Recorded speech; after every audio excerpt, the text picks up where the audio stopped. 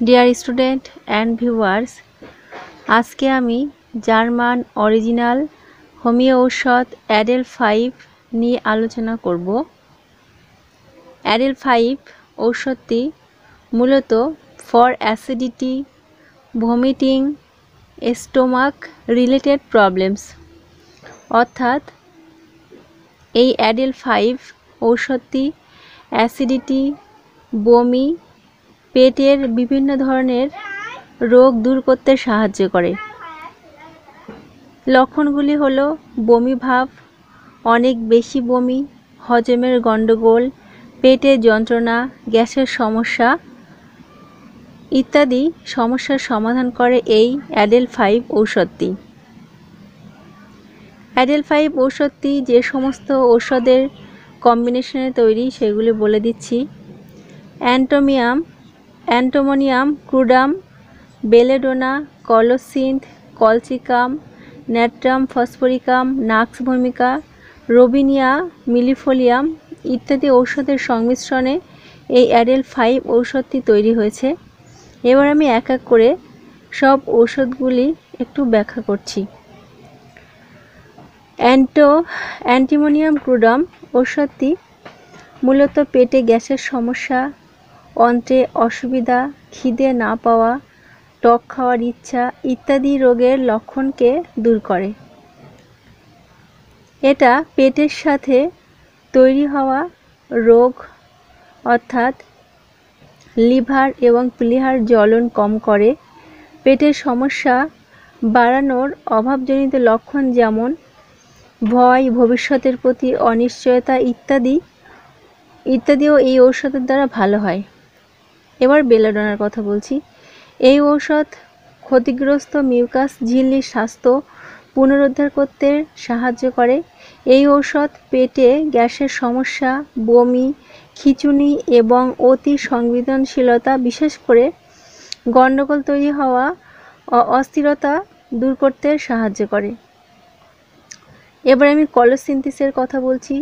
পেট, gallbladder, অন্ত্র এবং মূত্রথলি থেকে ছড়ানো রোগ এবং খিচুনি এবং ব্যথাকে এই ঔষধ সারিয়ে দেয়। এটা পেট সংক্রান্ত অন্য রোগের লক্ষণ যেমন মুখের স্বাদ ভালো না লাগা, বারবার পেটে জ্বালা, পেট ফোলা, অন্ত্রে গ্যাসের প্রভাব, অস্থিরতা, উত্তেজনা প্রভৃতিও ঠিক করে। এবার কলচিকামের কথা বলছি। এটা জয়েন্টের আমবাত এবং গেটে বাত এর জন্য একটা খুবই ভালো ঔষধ। এছাড়াও এই ঔষধটি পেটে জ্বলন, বেশি বমি, জ্বালা ভাব, পেটে এবং অন্ত্রে গ্যাস, জ্বলন বা ব্যথার জন্য এই ঔষধটি খুবই ভালো কাজ করে। এই ঔষধে আরও যে একটা ব্যতিক্রম সিমটম আছে, যেমন কিছু খাবারের গন্ধে তার গা গোলানো হয়, তার বমি হয়, ইত্যাদি সমস্যাও সমাধান করে এই ঔষধ। এছাড়াও এটা হার্ট এবং রক্ত চলাচলের প্রক্রিয়াকে সাহায্য করে। এবার বলব নেট্রাম ফসফরিকাম সম্পর্কে। এই ঔষধটি ঢেকুরোটা, বুকে ব্যথা, জ্বালা করা, পেটের হজম শক্তিকে ঠিকঠাক নিয়ন্ত্রণ করে।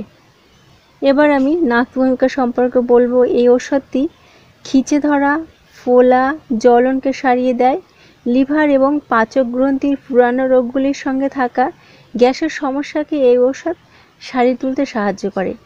অনেক সময় জিভে নোংরা জমলে, তারপর গা গোলানোর সঙ্গে বমি হলে, মুখে তিতভাব থাকলে, কোষ্ঠবদ্ধতা থাকলে এই ঔষধটি সব সমস্যাকে সমাধান করে। এবার আমি রবিনিয়ার কথা বলব।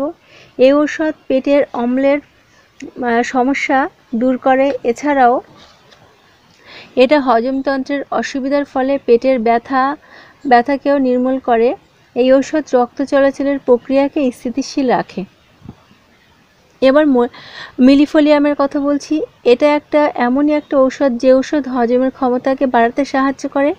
পেটের নিচে শিরা গল ব্লাডারের গণ্ডগোল, পেট ফোলা, ব্যথার চিকিৎসা করার জন্য এই ঔষধ খুবই ভালো কাজ করে। এবার আমি সেবন বিধি সম্পর্কে বলছি।